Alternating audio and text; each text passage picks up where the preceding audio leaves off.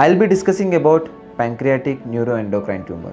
In short, it is PNET. These tumors are rare in general population but its prevalence is usually underestimated because these tumors are very difficult to diagnose and treat.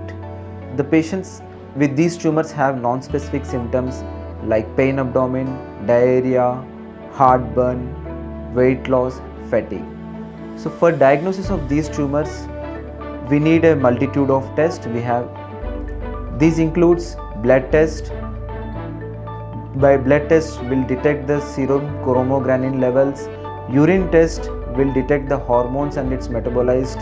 Imaging, which includes contrast enhanced CT, contrast enhanced MRI, and a special investigation called endoscopic ultrasound. Endoscopic ultrasound is usually done by expert gastroenterologist experienced in this field.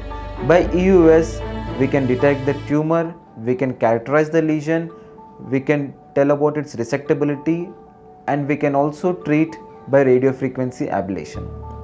The treatment of these tumors usually includes a multidisciplinary approach which includes surgery if it is resectable not involving the vessels so in surgery we'll do a pancreaticoduodenectomy if the lesion is in head of pancreas if it is in the tail we at max hospitals providing a good care for treatment and diagnosis of these rare tumors called pancreatic neuroendocrine tumors